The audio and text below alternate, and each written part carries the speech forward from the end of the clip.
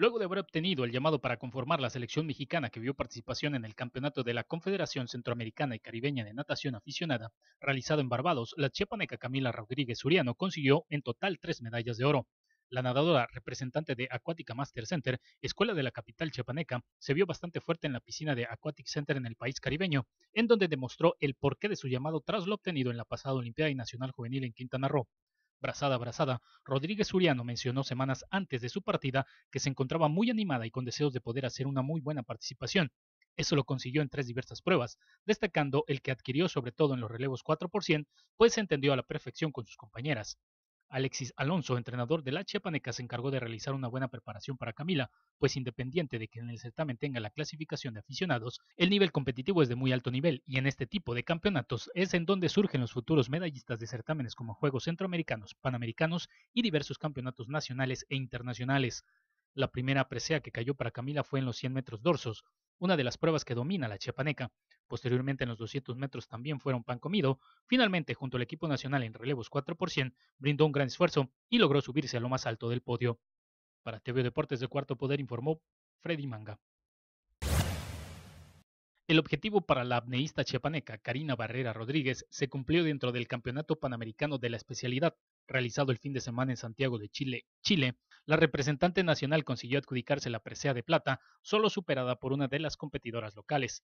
La seleccionada mexicana que trabaja bajo el mando del entrenador certificado José Juan Jiménez en las instalaciones de la UNICACH logró su pase al evento internacional tras una buena actuación en el Campeonato Nacional de Apnea, realizado a finales del mes de mayo en la Ciudad de México.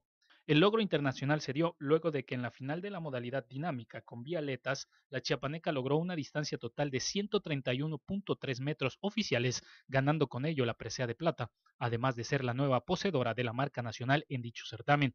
Algo muy importante que hay que mencionar, tal como lo hizo el propio entrenador, es que tanto la justa nacional como la internacional, la atleta y su preparador acudieron con recursos conseguidos por familiares y pequeños apoyos llegados del sector privado, por lo que el logro destaca mucho más, ya que tuvieron que sufrir para asistir a dichos campeonatos. Para TV Deportes de Cuarto Poder informó Freddy Manga. Continuaremos trabajando por el bien del Wushu en nuestro estado de Chiapas y buscaremos seguir creando proyectos que hagan crecer a nuestros atletas. Confiamos firmemente en nuestro proyecto y por ello seguiremos trabajando fuerte para lograr nuestros objetivos y ver clasificados a cada uno de ellos. Fueron algunas de las palabras del maestro Abraham Hernández García durante la celebración de la unión entre Chiapas y Cuba dentro de esta disciplina marcial. El acto entrelazante se llevó a cabo el pasado fin de semana, en donde elementos de la selección del país caribeño estuvieron presentes luego de haber participado en el Campeonato Mundial de Kung Fu tradicional realizado semanas atrás en China. Es importante mencionar que Cuba actualmente cuenta con un gran número de afiliados a la Federación Internacional de Wushu, una población que trabaja con el objetivo de difundir esta disciplina y que busca día a día trabajar para estar presente en los mejores eventos del mundo. De igual manera, Abraham Hernández dejó muy en claro que la principal razón para realizar tal vinculación es mejorar el nivel en el Estado a través del trabajo ordenado, disciplinado y dando seguimiento a los lineamientos generales que les permitan ser mejores día a día en el Wushu. Para TV Deportes de Cuarto Poder informó Freddy Manga.